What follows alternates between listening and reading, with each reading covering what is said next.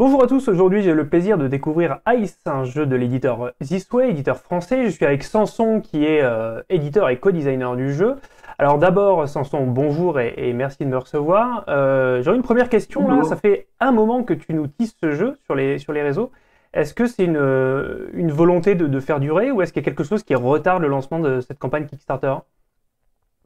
Euh, Alors c'est pas une volonté de faire durer, euh, c'est juste qu'on a envie de de faire bien les choses parce que c'est notre, euh, notre premier projet euh, KS. Euh, donc je pense qu'il y a le souci de bien faire. Il y a aussi que le jeu, à la fois, il y a des, au niveau des mécanismes, il y a des, il y a des choses quand même plus ou moins complexes. Et surtout au niveau du matériel, on a besoin d'être vraiment bien, bien au clair avec les, avec les fabricants, ce qui est une partie assez technique. Euh, alors pas sur tout, c'est juste sur le, sur le plateau de jeu, qui demande une expertise technique assez forte et, euh, et juste on veut avoir les, euh, les réponses avant de, de, se lancer dans l'aventure, dans, dans le grand bain. Ouais, alors cette, sur ton calendrier, cette partie de teasing, là je vais montrer le jeu maintenant. cette partie de teasing, c'est aussi une partie de test. Tu me disais avant qu'on enregistre que finalement, tu, vous prenez beaucoup de retours en ce moment et vous utilisez TTS pour, pour affiner les règles et le jeu, c'est ça? Carrément, ouais, ouais. Ouais, on essaye au, maximum de, de pouvoir euh, ben, échanger avec les, euh, avec les playtesters, euh, essayer de, d'avoir le maximum de, de, feedback possible pour tout ce qui est dans l'équilibration du, du, jeu. Mm-hmm. Et, et c'est vrai qu'on a beaucoup, beaucoup de retours, donc c'est cool. des choses positives, des choses moins positives, forcément. Mm-hmm. Et on, on, essaye de faire le, le tri dans tout ça, de, de garder euh, ce qui nous semble vraiment euh, important pour que le, jeu soit, une belle expérience euh, pour, pour, les joueurs. Quoi. Mhm. En deux mots, vous êtes combien sur le développement là, de ce jeu?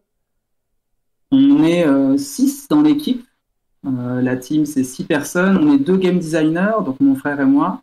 un illustrateur qui est avec, avec nous depuis le, quasiment le tout début, donc il y a un peu plus de deux ans et un graphiste, un community manager qu'on a recruté il n'y a pas longtemps et une vidéaste qui va faire toute la partie vidéo pour, le, pour la campagne. Ok. Alors, dans Ice, euh, on est sur un jeu qui, d'après moi, est du placement d'ouvriers, qui est relativement asymétrique. Euh, c'est un jeu auquel j'ai pas encore joué, spoiler, j'ai juste étudié les règles. Est-ce que tu veux nous donner un petit peu le, le contexte euh, et le concept d'ailleurs? Tout à fait. Alors, euh, c'est exactement ça. C'est vraiment du, c'est du placement d'ouvriers.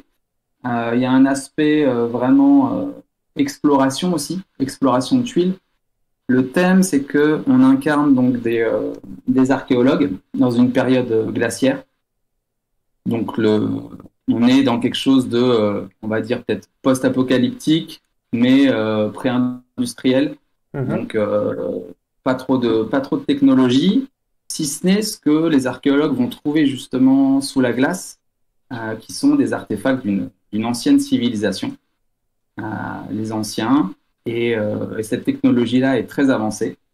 Et donc eux, ben, ils ont à cœur d'utiliser ça dans, la cité dans laquelle ils, vivent. Et le but du jeu, le but de nos explorateurs, c'est justement d'aller trouver des artefacts et de les ramener à la cité. Alors on est quand même, on, voit les tuiles, on est sur quelque chose d'assez fantastique dans les euh, dans les peuples. Euh, qu'est-ce qu'il y a comme inspiration euh, Tu as des références particulières ou? Alors ce qui nous ce qui nous, nous a pas mal inspiré, c'est pas forcément des jeux d'ailleurs. Ça peut être plus de l'univers SF, des choses comme comme Dune ou peut-être des choses un petit peu fantasy même genre le Seigneur des Anneaux, enfin des, des, choses comme ça. Euh, après, notre, notre illustrateur a été aussi vraiment force de, force de proposition, c'est-à-dire que nous, on avait une idée vraiment assez précise du lore, euh, et lui, il est venu rajouter là-dessus euh, pas mal de choses. Là, on voit ben, justement les, les, les, les, guildes. Alors, il y a quatre illustrations, il y en a une qui est, qui est, qui est pas du tout définitive, les, les Hunters, là on a juste réutilisé la, couverture du jeu. Mais, euh, mais sinon, euh, effectivement, c'est c'est lui aussi qui a, qui a développé tout cet aspect de, de personnage et de, de, de, ce qui se passe autour de, de ces personnages. Quoi. Ok, alors est-ce que la mise en place, elle est faite ou est-ce qu'il y a quelque chose à faire? Et Il faut juste appuyer sur un petit bouton qui est juste là. Alors, ça, servira, ça servira de tuto aussi du coup pour les gens qui voudraient l'essayer puisqu'il est, est, disponible bah, évidemment sur Tabletop Simulator de manière publique et qu'on a des, des, auteurs qui sont particulièrement à l'écoute. Hein. Donc là, vous avez pu voir que quand on a mis le jeu en place, il y a eu euh, cinq niveaux de tuiles qui ont été mises. Le niveau qui est tout en dessous, qu'on voit plus, qui était euh, quasiment noir, c'est le niveau des édifices.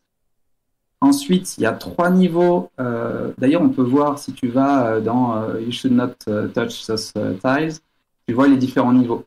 Là, il y a le niveau justement des édifices. Juste au-dessus, on a le niveau profond des artefacts, niveau intermédiaire et niveau de surface des artefacts. Et au-dessus de ça, eh ben, on a la couche euh, qu'on a appelée Inland 6. C'est ce qu'on voit maintenant? Inland 6, ouais, exactement, ce qu'on voit maintenant. Inland 6, c'est vraiment le terme technique pour euh, une banquise, mais qui est sur un continent, sur lequel il y aurait de la terre euh, en dessous. Ok. Donc voilà pour les différents niveaux. Euh, donc le but du jeu, ça va être de, euh, je vais nous retourner là les, euh, ces cartes là. Donc en début de partie, on retourne trois cartes d'écret qui sont des, façons de, scorer en fait dans le, jeu. Ce sont des on va dire des orientations pour le jeu.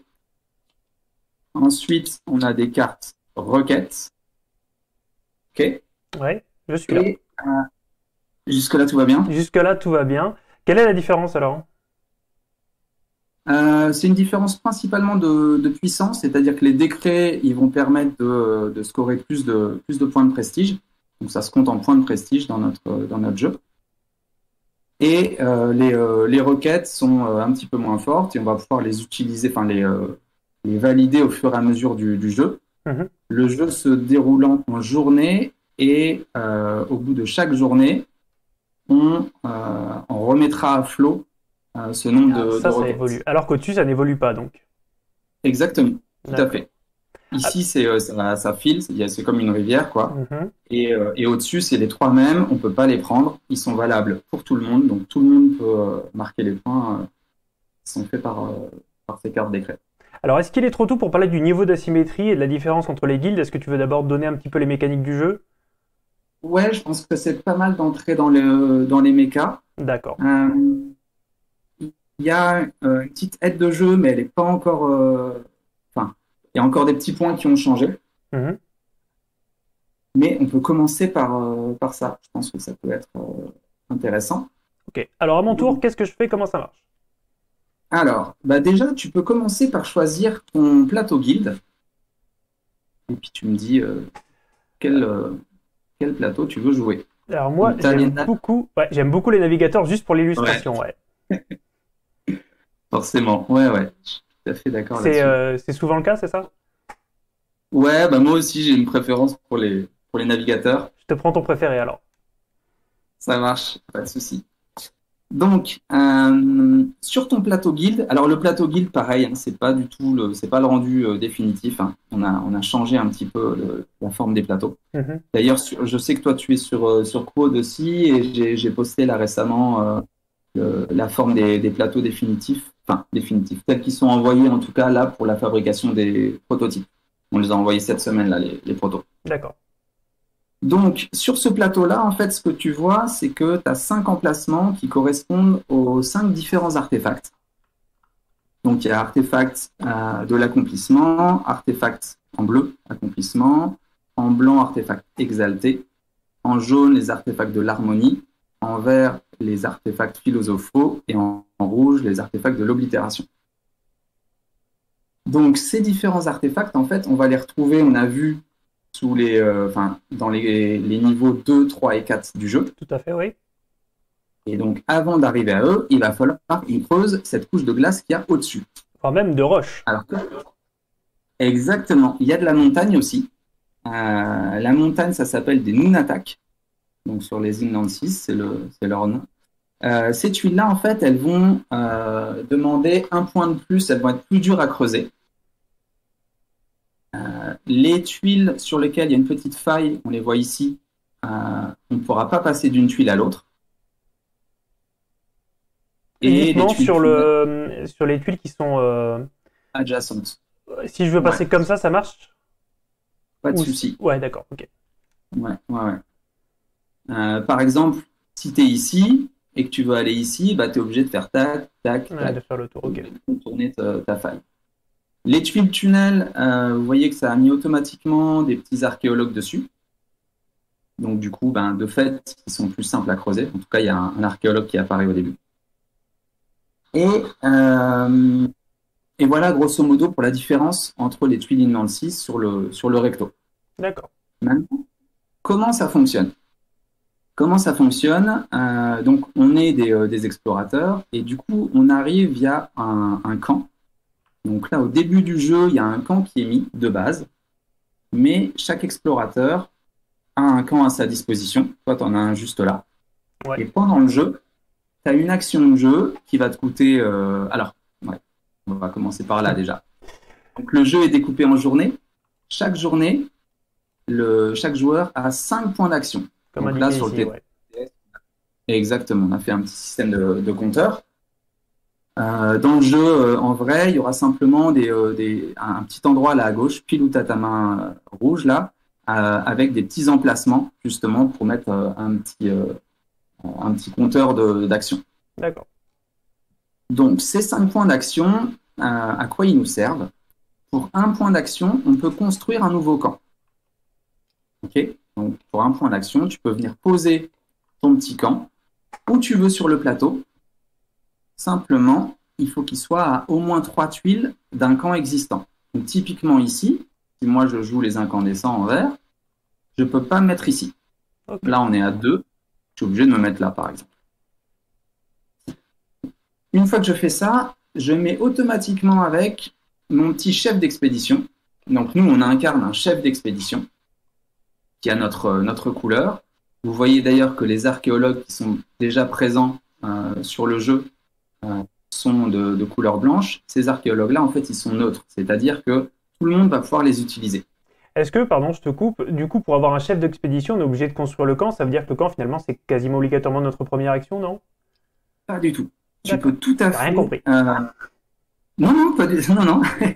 c'est juste que tu parlé de cette première action mais la deuxième action que j'allais euh, décrire, c'est justement l'action call. Et cette action-là, elle te permet de ramener soit ton chef d'expédition sur un camp, soit euh, un archéologue. Donc il y a un petit, euh, un petit bag là, archéologiste, où tu peux aller piocher dedans tes archéologues et tu peux ramener un archéologue sur un camp. Tu peux, tu peux également, si ton, tu t'es baladé avec ton, ton chef d'expédition, il est ici, pareil, pour un PA, tu peux le ramener au camp. N'importe lequel des camps, d'ailleurs. Si toi, tu as posé un camp, les camps sont neutres, c'est comme les archéologues. tout le monde en peux moi aussi en profiter, exactement. Hmm. Il y a un vrai côté euh, semi-coop dans le jeu. Et d'ailleurs, on s'est rendu compte, je pense qu'on mettra ça dans les règles, euh, que ça vaut la peine d'être plutôt proche des autres chefs d'expédition plutôt que loin. C'est-à-dire creuser dans son coin, ça marche pas très bien dans ce jeu-là. Ça vaut la peine de se, de se, rapprocher des autres pour être plus efficace dans, dans, la fouille de, des, des tuiles. Ok. Donc là, est-ce que c'est ok pour toi? Jusque-là, tout va bien. Jusque-là, tout va bien. Génial. Donc là, on a fait construire un camp, on a fait call. Maintenant, qu'est-ce qu'il en est des déplacements? Donc ça, c'est l'exploration. C'est assez simple. Je me déplace d'une tuile, ça coûte 1 PA. Je me déplace de 2, ça coûte 2 PA. Donc je peux flamber tous mes PA pour faire trois cases par exemple, puisque c'est 3 par 3, on va le voir après, je spoil un peu. Exactement. Merci pour le spoiler. Désolé, j'ai cassé ton flow. il, y a des, euh, il y a des tours de jeu. Et donc, même si la journée euh, fait, euh, fait 5 PA, on est limité, on peut jouer que de 1 à 3 PA par tour. Donc si toi tu commences, tu peux jouer de 1 à 3, le suivant pareil, etc. Ça revient jusqu'à moi de 1 à 3 jusqu'à ce qu'on ait épuisé chacun tous nos points d'action. Euh, donc, exploration, effectivement, tu peux utiliser 3 PA pour te déplacer. D'accord. Ensuite, ce qui va nous intéresser, le, le plus, plus, important dans le jeu, ça va être ce qu'on appelle euh, excavate, c'est-à-dire fouiller. Comment est-ce qu'on fouille? Donc, c'est retourner une tuile. En fait, on fouille pour 3 points d'action, moins le nombre de meeples qui sont sur la tuile. Donc là, typiquement, mettons que euh, j'ai décidé de poser, euh, j'ai décidé de poser mon chef d'expé ici. Ça m'a coûté 1. Et eh ben, je peux me déplacer pour 2. Et ensuite, je peux payer un point d'action pour creuser cette tuile-là. Te déplacer pour 1, parce que ça, ça prête à confusion ce que tu as dit. Dis-moi. On se déplace pour un point d'action. Tu as dit se déplacer pour 2. Ah ouais, oui, pour, euh, pour mon deuxième, point d'action, je me déplace. Ouais, c'est ça, tout à fait. Un PA, j'arrive ici un PA, je me déplace, et un PA, je décide de euh, fouiller cette, cette tuile. Donc pour la fouiller, euh, je la déloque et je peux la retourner. Alors, bon là évidemment, hein, euh, ce sera pas comme ça. Il y, y, a une illustration derrière et c'est du texte et, et des, des, pictogrammes pour expliquer tout ça. Tu parlais de matériel tout à l'heure, pardon, je te coupe. Euh, du coup, vous avez une solution, j'imagine, pour le fait de pouvoir attraper une tuile sans faire partir tout ce qui est autour euh, en l'air. Tu sais, pour rattraper la tuile en elle-même? C'est quelque chose qui est réglé, ça? Alors, en fait, ça, nous, on a commencé vraiment euh, par, fabriquer un prototype. Hmm. Il y a de ça déjà quasiment deux ans. Et, et, donc, on a fait un certain nombre de parties avant d'avoir justement ce, ce, TTS et de pouvoir s'entraîner là-dessus on a fait un certain nombre de parties sur un, proto euh, physique, avec donc nos, cinq couches de tuiles, euh, etc. Et donc, euh, en ayant un petit écartement très léger entre les tuiles, ça fonctionne très bien. C'est-à-dire que tu arrives à, les, arrives à les prendre, et puis sans, forcément que toutes les tuiles bougent, parce qu'elles sont maintenues un peu les unes, les unes aux autres. Très bien. Voilà. Et d'ailleurs, il se passe, il se passe des choses quand on creuse euh, beaucoup de tuiles. Peut-être que je peux parler déjà de cette, euh, cette règle-là. Je t'en prie, oui, oui. Imaginons qu'on euh, on ait enlevé pas mal de tuiles. On reviendra sur le fait de ce qu'on fait des tuiles qu'on a, qu'on a excavées, hein, c'est important aussi. Exactement, ouais, ouais. Mettons que voilà, j'ai enlevé ces, ces tuiles-là, et puis je me retrouve avec une tuile comme ça qui est toute seule. Et là, en fait, il y a une règle qui s'appelle la règle d'effondrement, qui est que euh, cette tuile-là s'effondre. Donc, automatiquement, elle est, euh, elle est discardée. Quoi. Euh, on, la met à, on la met à la défausse. On enlève donc le chef d'expédition, l'archéologue qui sont dessus sont pareil retirés du jeu. Mm-hmm. Et on défausse cette, on défausse cette tuile. Pareil. Donc il y a moyen de piéger un petit peu ses adversaires finalement avec un bon tour.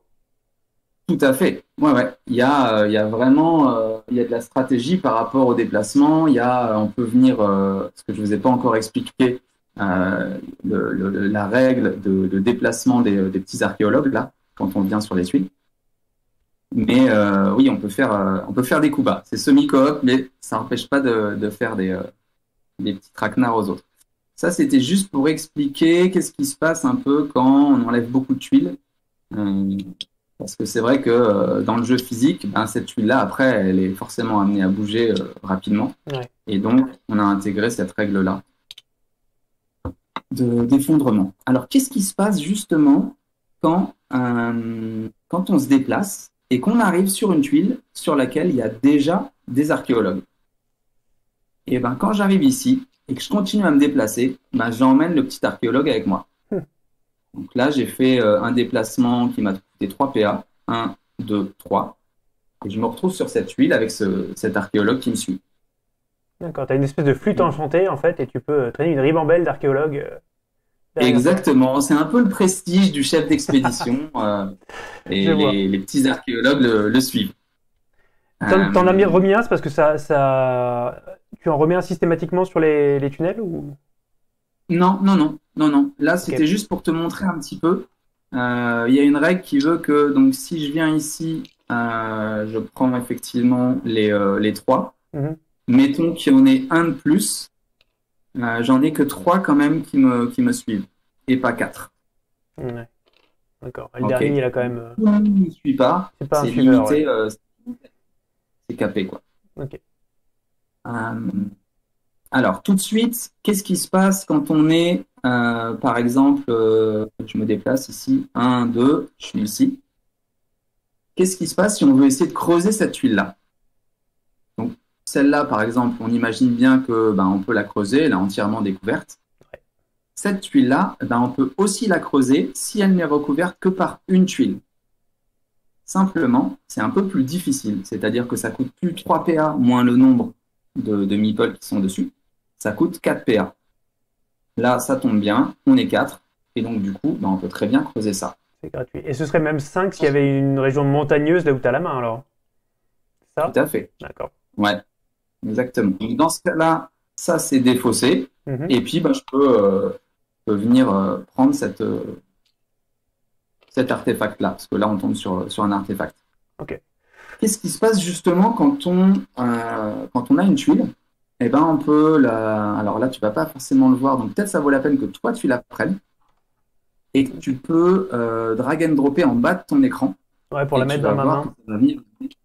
Exactement. Alors, est-ce que j'avais cru lire, j'ai peut-être une bêtise, euh, il y a une différence entre les tuiles qui sont euh, à la surface et celles qui sont plus profondes? Parce que là, il y avait du texte et finalement, je t'ai coupé avec mes considérations techniques, mais tu nous as pas expliqué ce qui Tout se passait fait. quand on commençait avec celle-là. Et exactement, tu as complètement raison. Alors, il y a vraiment une différence euh, majeure qui est que les tuiles Inland 6, en fait, c'est des tuiles qui vont avoir un, un effet, c'est-à-dire on va les jouer et en règle générale, elles vont vraiment euh, nous faciliter le, la, la fouille. Les tuiles artefacts, par contre, elles vont aller directement sur notre plateau guild. Donc, on va les poser sur le plateau guild. Les tuiles Inland 6, elles vont venir dans notre main et puis bah, on les jouera quand on a envie de les jouer. Ah, donc c'est celle-là que j'aurais dû prendre dans ma main. Que du coup, Ouais, j'ai pris l'autre dans ma main, tu vois. Alors, celle-là, effectivement, l'artefact, tu peux venir le poser sur ton plateau guild. Tac. D'ailleurs, c'est pas le mien, mais euh, peu importe. Ouais. Je la mets là si tu veux. Tac. Alors, quel, Alors quel là, côté? on- Parce que du coup, je retrouve pas le symbole, tu vois. euh, Exactement. Parce que là, en fait, on est tombé sur un artefact un petit peu spécial qui est un artefact joker. C'est l'artefact prismatique. Normalement, euh, là, c'est peut-être plus simple de prendre euh, un artefact d'un type donné. Et lui, on retrouve effectivement le, plus ou moins le, le- le bon symbole, quoi. D'accord. Le prismatique, euh, comme son, son nom l'indique, en fait, on, on peut le mettre sur n'importe quel euh, slot euh, pour les, euh, pour les tuiles et il remplace euh, le, le type euh, qu'on veut. Ok, donc j'ai eu beaucoup de chance. Il y en a beaucoup des comme ça dans le, dans le jeu?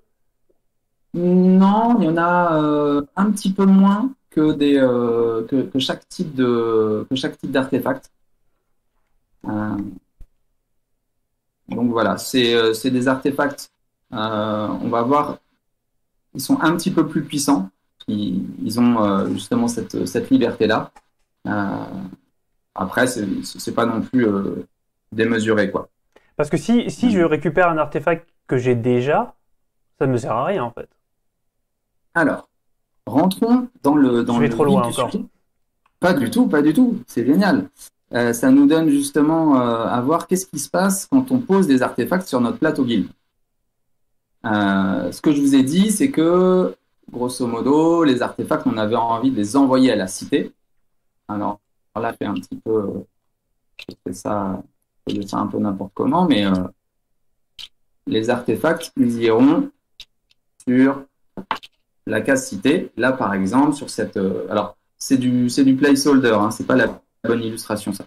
C'est la seule illustration qu'on voit ici qui, Ok. qui est pas qui est pas de notre euh, illustrateur. Donc, ce- ces tuiles que tu auras chez toi, on viendra les poser sur ta case à toi qui t'appartient, la navigateur du, euh, du plateau cité.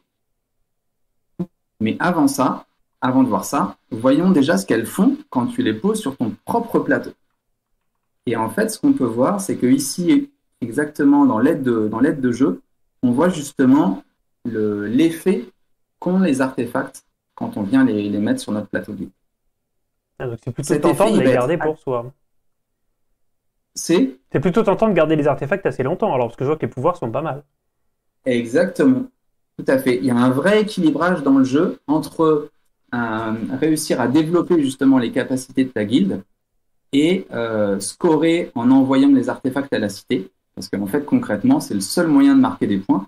Bah, ce sera de, de venir euh, envoyer ces artefacts à la cité et, et, avoir, et valider les requêtes et des décrets.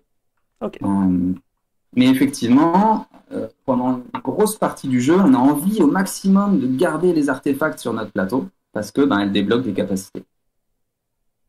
Comment ça débloque les capacités? Pour ça, euh, je ne vous ai pas parlé encore du fait qu'il y a une petite différence. Certains artefacts, en fait, sont des artefacts euh, qu'on va appeler actifs et certains sont des artefacts inactifs. Concrètement, si on revient un petit peu là euh, à, aux différentes tuiles du, euh, du jeu, ce qu'on peut voir, c'est que ici, on voit des artefacts. Alors, le, le, le, dessin est pas euh, pareil, c'est des choses qui vont être amenées à, à, bouger un petit peu. Mais on voit des petits cercles là autour du vert, autour du bleu. On voit pas de cercle ici. Et de la même façon, si je les, si je les retourne, euh, je vais peut-être plutôt faire ça avec euh, des, des, tuiles de jeu directement. Hop, si j'enlève ça,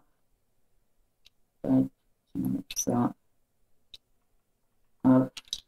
Là, on voit un artefact qui est inactif. Hop. Et ici, on va avoir un artefact qui est actif. Ils n'ont pas le... Alors, j'aurais dû prendre... Je vais prendre plutôt euh, un bleu. Voilà. Je vais prendre un bleu, comme ça on verra directement. Euh, non, un... ah, les deux sont inactifs là. Ouais, ouais, un rouge. Hop. Tac. Voilà, je vais y arriver. Hein.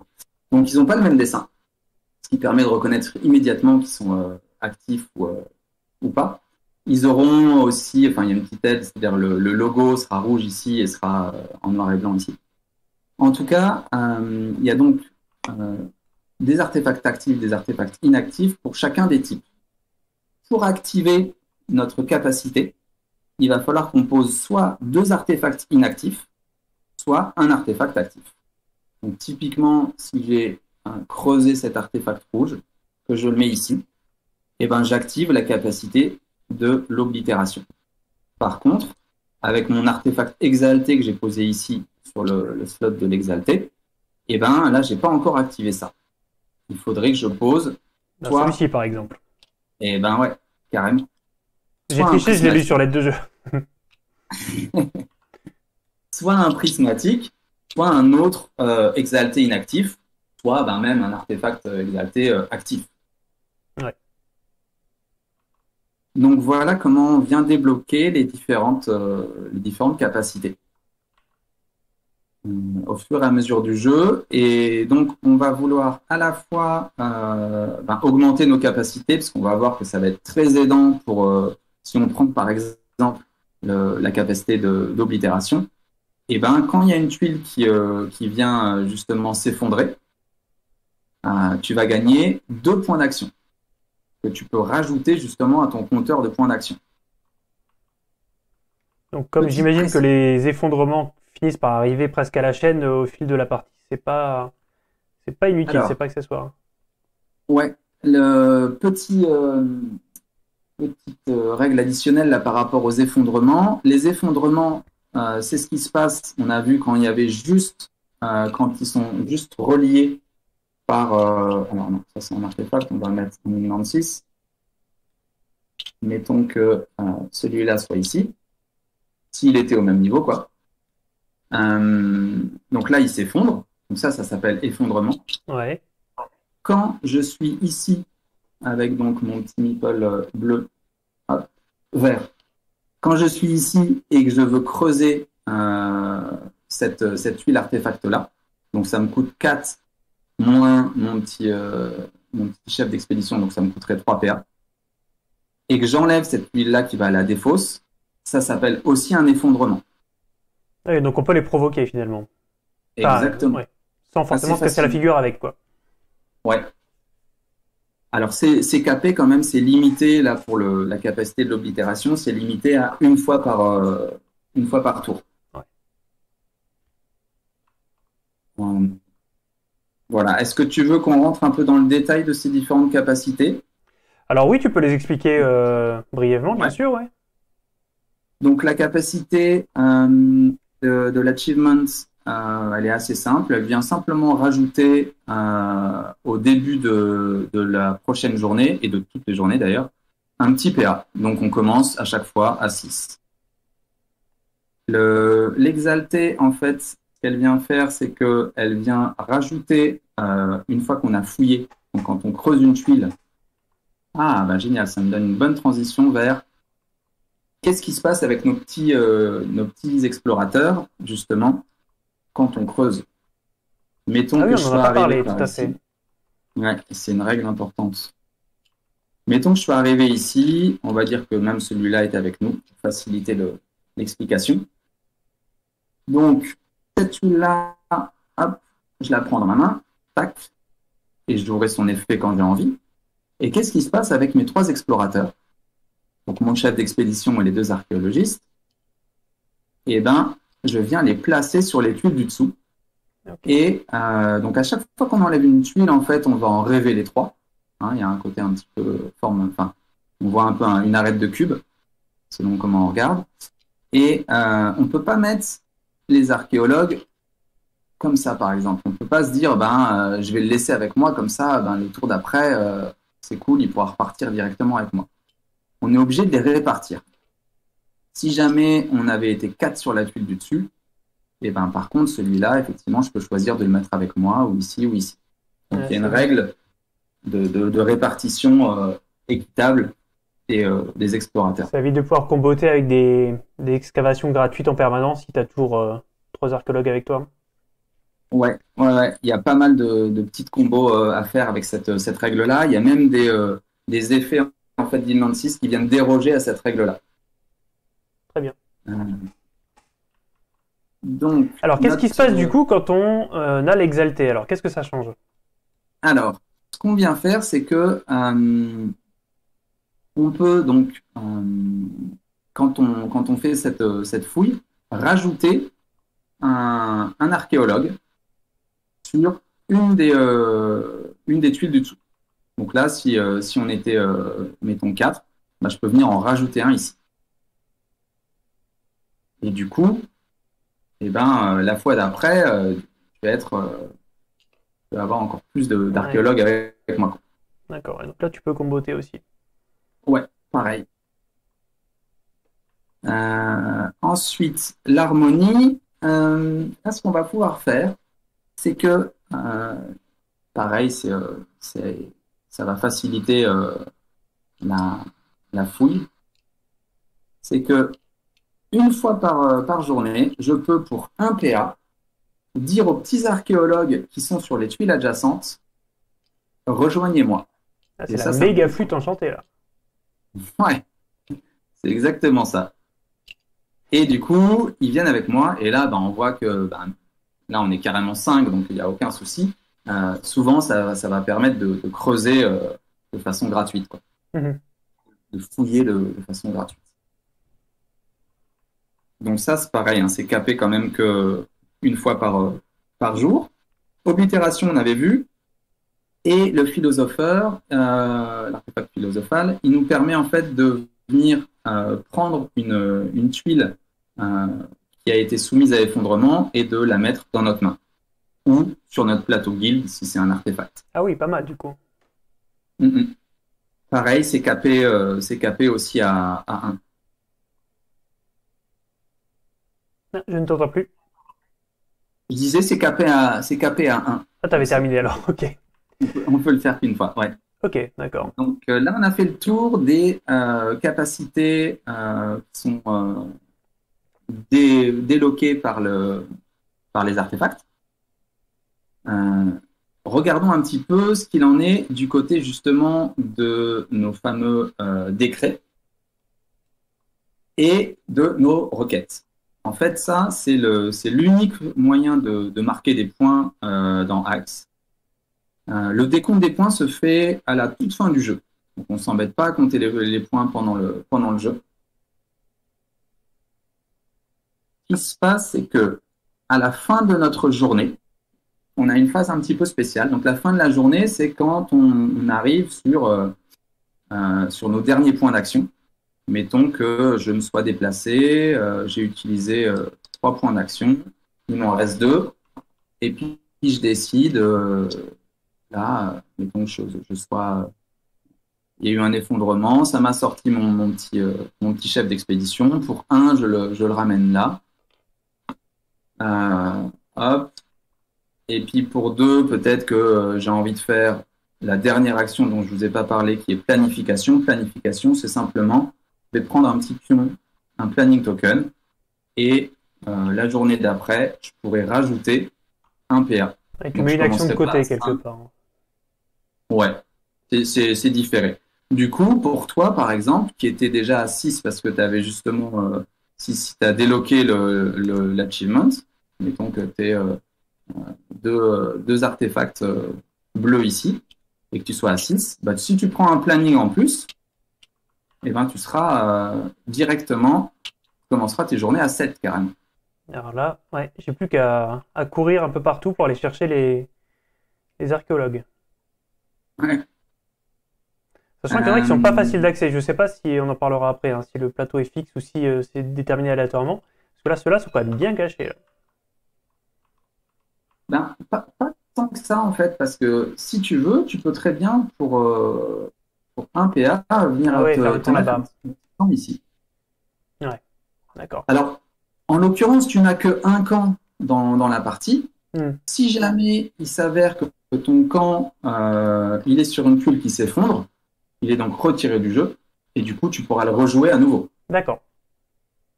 Ok. Et il y a aussi des effets d'ailleurs qui font euh, rune explosive, par exemple, ça te, fait, euh, ça détruit une, une tuile. Il est retiré du jeu. Donc, il peut y avoir des, effets comme ça où les, où campements sont amenés à, à être euh, retirés du jeu. Donc, euh, j'en étais à, on est en train de finir nos points d'action de la journée.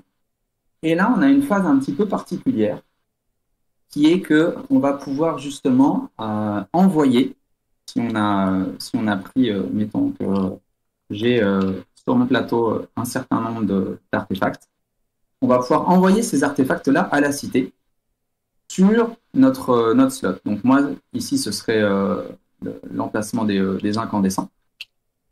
Et je peux envoyer ça à la cité pour justement venir valider des requêtes.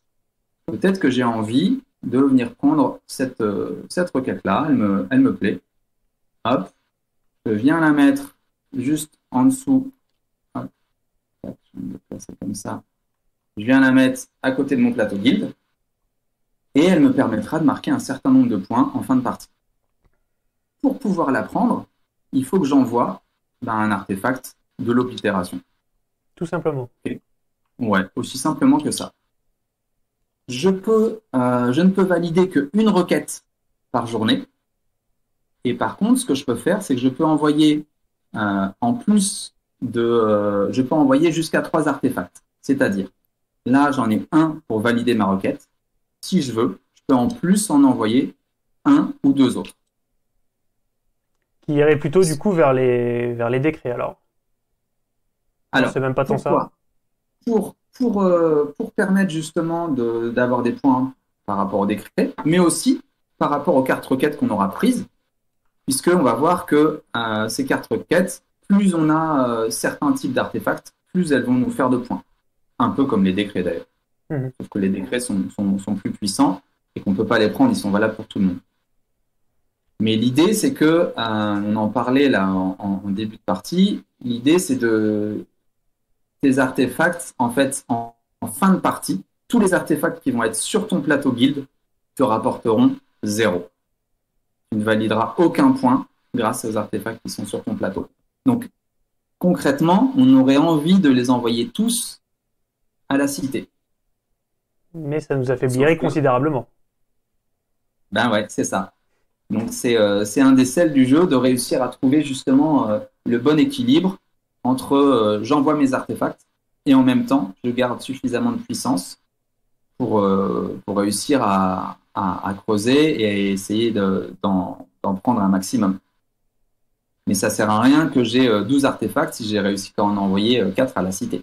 Hmm. oui, d'autant qu'on ne peut pas en envoyer autant qu'on veut par tour, donc on risque de se retrouver avec certains qu'on n'aura même plus le temps d'envoyer quelque part. C'est ça, on est capé à 3. Hmm. On est capé à 3 artefacts. Donc ça, c'est euh, comment est-ce qu'on prend des, euh, des, cartes requêtes. Donc en fin de journée, euh, il y a une phase, spéciale pour ça. Et on est, limité à une, à une requête. J'ai oublié, je me rends compte que j'ai oublié un petit truc, qui est que chaque jour, en fait, on a des petites cartes là, event. Et ces cartes-là, en fait, elles sont révélées en début de journée. Et chaque nouvelle journée, on vient en révéler une. En règle générale, elles viennent faire un petit, euh, un petit boost. Là, par exemple, bon, c'est juste la mise en place euh, pour cette toute première carte, qui est qu'on vient placer euh, le campement et on vient placer chacun des, des archéologues sur les, les, tuiles tunnels. Si on regarde par contre la, la deuxième, et eh ben là, en fait, on va venir piocher chacun, chacun des joueurs une carte inland 6. Donc on voit qu'il y a une petite pioche euh, par ici, tac, ici. Donc il y a un drag and une, euh, une tuile, on la met dans notre, dans notre main. Ok, donc le premier événement, il est euh, toujours le même, mais les autres sont aléatoires, j'imagine? Alors, pour le moment, on a juste huit événements. Et à la fin de la huitième journée, le, le jeu s'arrête. C'est une des règles de fin de jeu. La deuxième règle de fin de jeu, ce serait euh, et c'est souvent ce qui arrive, c'est quand on découvre entièrement une tuile édifice. Donc là, on voit qu'on est au niveau des artefacts profonds. Si j'enlève cette, euh, cette tuile-là, on commence à apercevoir la couche qui est tout en dessous, qui est la couche des édifices. Si on arrive à découvrir entièrement une tuile édifice, eh ben, euh, pareil, le, le jeu s'arrête. On fait juste un dernier tour et le jeu s'arrête. Euh, donc tu disais, euh, c'est d'aléatoire, mais euh, est-ce que sont, c'est toujours les mêmes à chaque tour ou même sur les 7 là qui restent, on peut, on peut mélanger un peu? Alors pour le moment, nous on a, on a fait un, on a mis les, les, mêmes à chaque fois. Euh, on va être amené, je pense, à deux choses, soit déjà de proposer qu'elles soient shuffle à chaque fois, enfin qu'on les mélange, à part pour la première. Mais je pense que concrètement, on aura envie de euh, d'en construire plus, c'est-à-dire d'avoir un petit deck de euh, peut-être le, double de, de cartes events et euh, qu'elles soient mélangées pour qu'on ne puisse pas deviner dès qu'on connaît un peu les, les, cartes ce qui nous attend à la journée d'après. Ok. voilà, voilà pour les cartes événements. Alors, est-ce qu'il y a des choses que tu oublies Parce que moi, j'ai des, questions à te poser après, évidemment. Ouais. Euh, ouais, juste un, petit dernier point par rapport à cette huile édifice. Cette huile édifice, en fait, c'est la partie euh, legacy du jeu. C'est-à-dire que on a euh, sur le fond du plateau, on a 12 tuiles édifices. Chacune est différente. Chacune aura un, un effet différent. Et en fait, euh, cet effet, c'est euh, des, variantes dans le jeu. OK Ok. Quand on, quand on retourne une tuile édifice, on sera amené à aller euh, prendre, alors on ne sait pas encore comment, si c'est dans une enveloppe, enfin en tout cas il y aura un système legacy qui permet de savoir qu'est-ce qu'elle fait cette tuile. D'accord? Pour le moment, si je prends une de ces tuiles-là, et que je viens me retourner, tac, donc là, on a la guivre sentinelle. Donc on verra juste l'illustration. On sera euh, amené à aller euh, ben, décacher euh, ce que fait cette, cette guivre sentinelle et l'effet qu'elle a dans, le, dans le jeu. En l'occurrence, cet édifice-là, c'est on va placer une, une petite, une petite, une grosse guivre qui se déplacera sur le, sur le plateau chaque joueur pourra la déplacer euh, d'une tuile à, son tour. Et purement et simplement, bah, elle vient retirer les archéologues qui sont présents sur, le, sur la tuile. D'accord.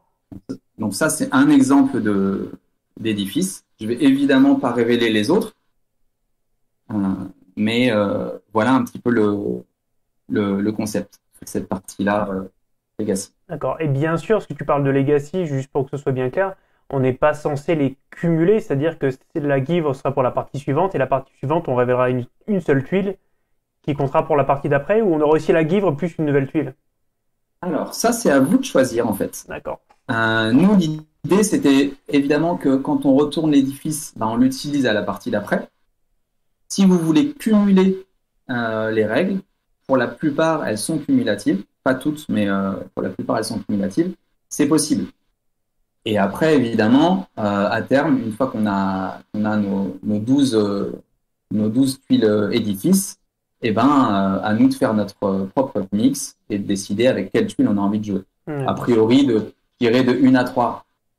parce que ça apporte quand même des, des, des, variantes dans le, dans le jeu. En tout cas, ça ouvre un, au fil des parties un pool de choix assez, assez conséquent en variantes ouais. et en modificateurs de ça, jeu. Ouais. ouais on a essayé effectivement euh, de, au niveau de la rejouabilité, euh, on, est, euh, on est pas mal de, de possibilités.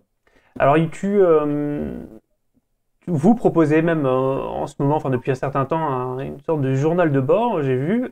Est-ce qu'il y a une tentation ouais. qui est faisable ou pas d'insérer quelque chose de narratif dedans, ou est-ce que vraiment c'est du, c'est de la communication autour du jeu? Non, pour nous, c'est euh, euh, un aspect vraiment important, le, lore, l'univers du jeu. On a beaucoup travaillé ça, donc ça s'en ressent pas forcément énormément, puisqu'on a beaucoup écrit là-dessus, mais qu'il y a très peu de parties euh, écrites là dans le, jeu tel qu'on qu'on le voit. Mais pour nous, enfin, on a tout un univers derrière, et donc on a envie de partager cet univers-là. C'est pour ça qu'on a fait aussi ces, cartes événements.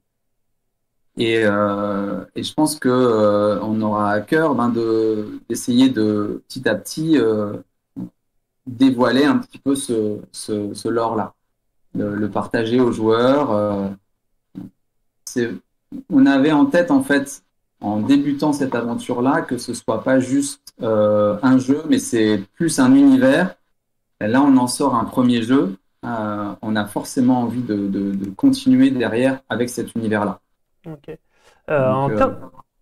Vas-y, tu voulais terminer sur ce point-là Non, non, c'est bon. D'accord. En termes de rejouabilité, euh, les tuiles, là, elles se posent euh, de manière complètement aléatoire, j'imagine, par couche, c'est ça? Oui, c'est ça. Okay. Il y aura un... Dans, dans, la boîte de jeu, en fait, elles sont, euh, elles sont, elles sont mises par, par niveau. Ouais. Okay. Il y a un, un, un plastic tray qui, qui, permet de les, de les ranger et euh, effectivement, elles sont mises euh, aléatoirement. Concrètement, en termes de mise en place, ça prend pas trois quarts d'heure parce qu'il y a quand même beaucoup, beaucoup de choses, hein, même en termes de tuiles. Il y a beaucoup de choses. C'est 10 minutes. Le plateau, c'est 10 minutes. D'accord. Donc, euh, c'est euh, un, un, petit temps. Euh, après, moi, je sais qu'il y a pas mal de jeux. c'est à peu près le temps que je mets pour, pour, mettre, en place, pour mettre en place mon jeu. Et l'idée, c'est quoi? C'est d'avoir un, un, socle rigide en dessous? Comment ça va se, tout ça va se tenir alors? Ce qu'on voit en noir là autour Ouais, bonne question. Euh, Merci. Là, en fait, ce qu'on voit, c'est euh, euh, effectivement, on a l'impression qu'il y a des tuiles autour qui viennent enserrer les, les, les, tuiles Nantis. En fait, ce sera un plateau. C'est un plateau qui est un plateau multicouche avec six couches donc une couche de fond et puis les, cinq couches du dessus euh, qui permettent de, de contenir les, euh, les tuiles.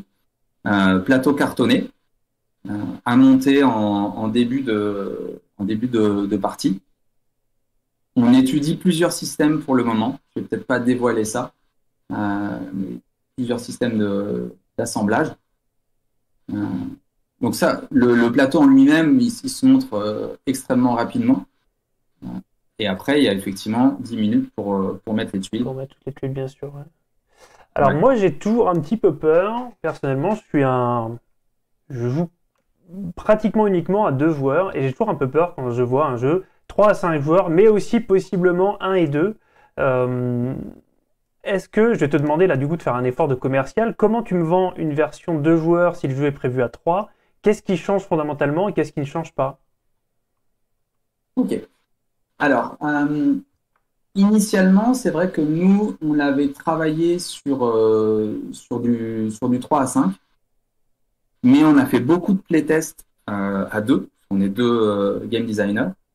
Et pour le moment, ce qui fonctionne assez bien, c'est simplement de chacun prendre deux guildes, qui revient grosso modo à une partie à quatre joueurs en termes de nombre de points d'action, etc et euh, bah, ça tourne euh, ça, ça tourne vraiment bien pour le euh, pour la partie de joueurs. Elle elle est pas très différente en fait du, du jeu du jeu de, de 3 à 5. Et par contre pour le solo, j'imagine que tu as dû Le solo est vraiment différent. Le solo est vraiment différent. Ça par contre, c'est quelque chose sur lequel on a c'est une, une, des choses qu'on a travaillé récemment. Autant les, les, les autres choses, ça, ça, fait déjà un bout de temps que c'est en place. Le solo, c'est quelque chose de plus récent. Euh, donc je peux pas énormément dévoiler. Ce que je peux dire, c'est que euh, il y a plus un système d'objectifs à, à, valider euh, avec le avec l'idée que euh, en fonction du nombre de, de journées qu'on va prendre, euh, ça va nous permettre de scorer plus ou moins. Ok. Ah si on arrive à valider les objectifs dans un laps de temps plus plus petit, on va gagner plus de, plus de points. Donc tu recommandes, alors on recommande jamais un jeu de société pour jouer seul, à part les jeux qui sont faits pour ça, mais euh, si euh, je suis un joueur qui ne joue qu'à deux, euh, rien ne m'empêche de... Tu me recommandes de, de backer Ice. Ah bah ouais, tout à fait. Ouais, ouais. C'est vraiment dynamique. Il y a cet aspect en plus assez, assez fun qui est que ben, tu diriges deux, deux chefs d'expédition donc du coup, au niveau des combos, ben forcément, tu es dans, un, niveau, euh, un niveau supérieur. Ouais, moi je trouve que c'est euh, une variante vraiment intéressante. C'est celle à laquelle on a quand même le, on a le plus joué en fait. D'accord, ouais. Donc il y a, du, du, retour dessus. Il n'y a pas trop de, downtime à, 5 d'attente entre les tours. Euh, le fait que ça tourne comme ça, il n'y a pas trop de d'analysis paralysis ou ce genre de problème. Je ne sais pas si vous avez eu beaucoup de groupe tests. Bah, il y, a, y, a, forcément plus de downtime, ça c'est, ça c'est clair, entre une partie à 3 et une partie à 5. Euh, c'est sûr qu'il y a, y a, plus de temps. Après, nous, on a essayé de limiter ça avec, euh, avec la notion de, de tour, où tu as juste 1 à 3 points d'action. Mm-hmm. Euh, au tout début du jeu, on avait imaginé de faire directement tous les points d'action. D'accord. Passant. Et c'était peut-être trop long alors Ouais, là, là effectivement, tu avais de l'analyse paralysis, clairement. Euh, moi, j'ai l'impression que, c'est OK. Euh, à voir peut-être en fonction des, playtests. Euh, pour le moment, on n'a pas énormément ce retour-là de, longueur. Euh, on verra si on peut, si on peut avoir peut-être rebalancé certaines choses pour que ce soit encore plus dynamique.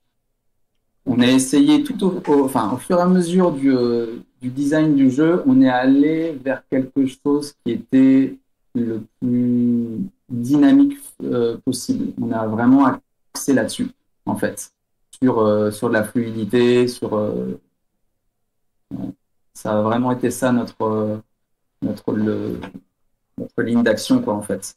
Et aujourd'hui, alors, du coup, Samson, vous prenez des retours, vous testez, etc. En même temps, ça avance, puisque tu me dis que vous, vous, attendez des, prototypes incessamment.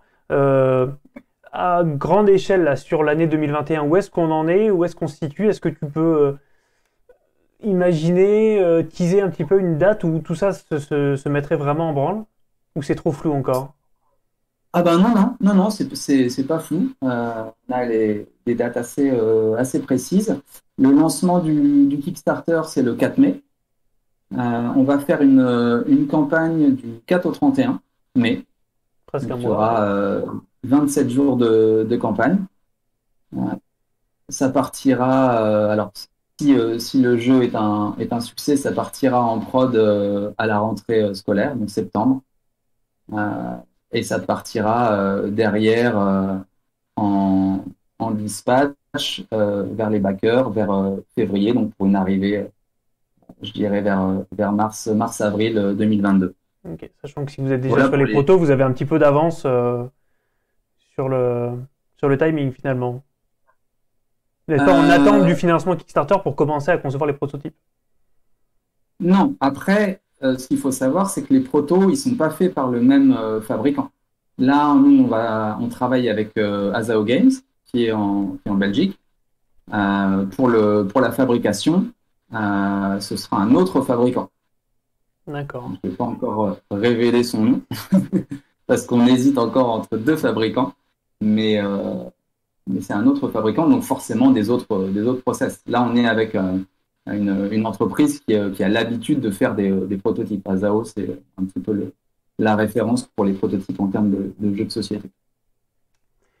Merci euh, Samson, je pense qu'on a fait un, un, tour euh, assez exhaustif hein, pour le coup de, de, Ice et de tout ce qui tourne autour. Euh, bah, je te laisse le. Est-ce qu'il y a quelque chose que tu aimerais ajouter, une précision, quelque chose, un teasing, une information, euh, une précision, que sais-je, que tu aimerais ajouter pour les gens qui nous regardent, à part essayer le mode puisqu'il est disponible et, il faut en profiter. Ouais. Euh, non, bah, ça peut être euh, ça peut être bien aussi de, jeter un œil euh, sur le sur les différents réseaux parce que ben, comme tu le disais, on essaye aussi de développer la partie univers. donc il y a une y a un, journal de bord que j'envoie une fois par mois, le 4 du mois, auquel vous pouvez vous, abonner gratuitement sur notre sur notre page Facebook. On a aussi un groupe qui est, euh, qui est assez actif, euh, qui, est, un groupe Facebook aussi, donc euh, qui s'appelle Ice Community. Et puis, ben, on a notre, on a un petit Discord dont on, prend soin en ce moment. On essaye de, développer pour justement ben, permettre aux gens de, faire le lien avec le, avec le TTS, ouais, pouvoir se retrouver dessus et essayer de, de, trouver des dates pour, pour jouer ensemble. Donc on peut avoir l'immense privilège de jouer avec toi. Yes. Incroyable. Bon, on va mettre tous les liens bien sûr dans la description de la vidéo. Euh, merci encore Sanson et puis euh, bah, merci à toi. Merci, je t'en prie et puis euh, bah, on se dit à très bientôt. On surveille tout ça de très près. Ça marche. Merci tout plein. Mais je ciao ciao. À bientôt. Salut.